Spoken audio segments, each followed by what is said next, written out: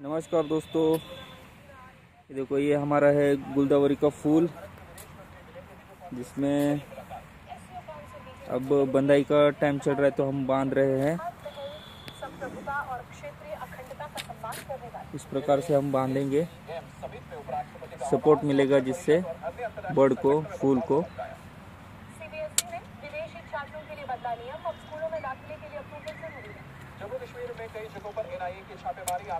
इस प्रकार इसको बांधना ज़रूरी है क्योंकि ये फूल आगे चल के बड़ा हो जाता है जैसे कि ये है। ये फूल और भी बड़ा होगा। इसलिए ये प्रैक्टिकल करना इसमें ज़रूरी है।